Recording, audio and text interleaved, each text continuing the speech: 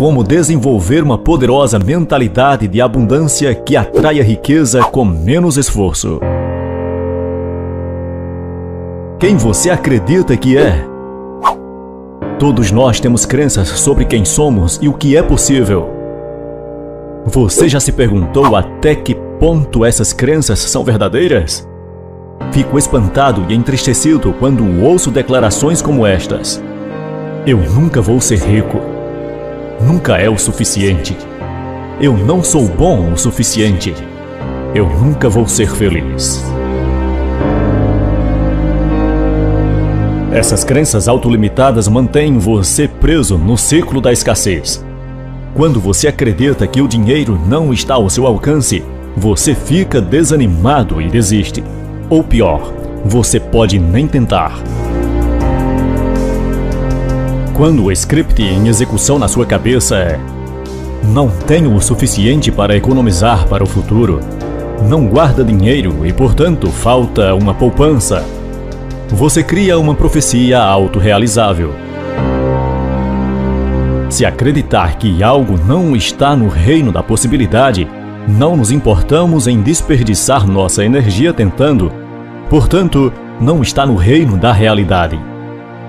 Ouço muitas pessoas dizendo que não têm dinheiro para largar seus empregos.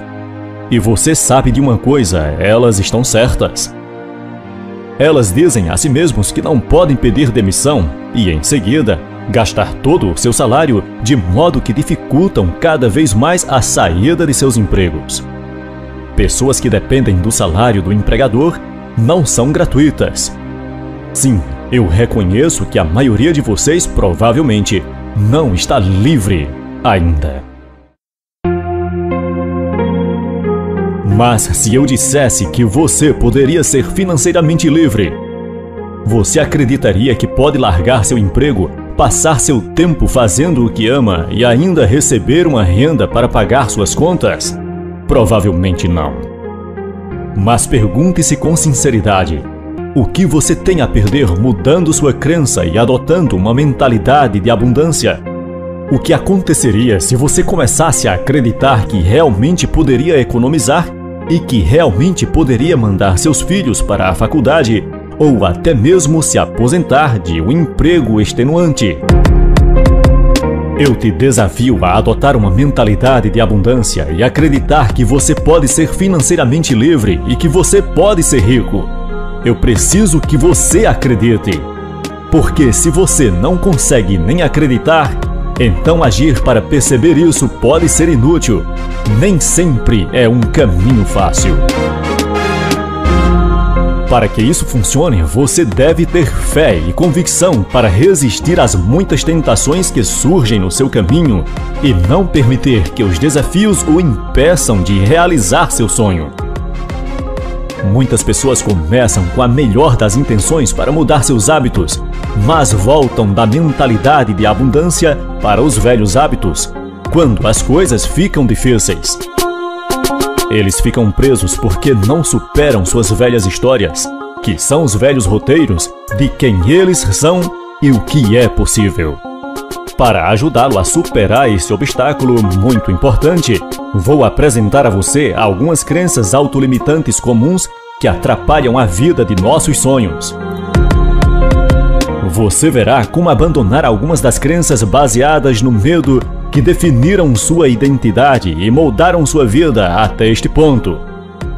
E você aprenderá como reformulá-los para que possa desenvolver uma mente de abundância e começar a tomar ações certas para alcançar um futuro financeiro totalmente novo. Crença autolimitante número 1: um, Não tenho dinheiro suficiente. Este é um desdobramento do medo de não ter o suficiente de nada. Esse medo pode facilmente se tornar o pensamento que eu tenho que ter agora, que é uma doença do século de escassez, fazendo você se sentir incompleto sem o objetivo da tentação. Deixe-me mostrar como isso funciona.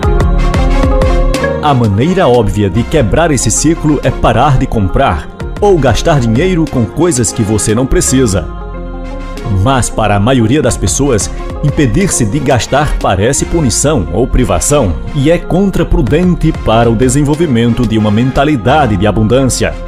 Mesmo se você cortar seu cartão de crédito, não poderá mudar seus hábitos até que esteja disposto a mudar as crenças que tem sobre essa situação.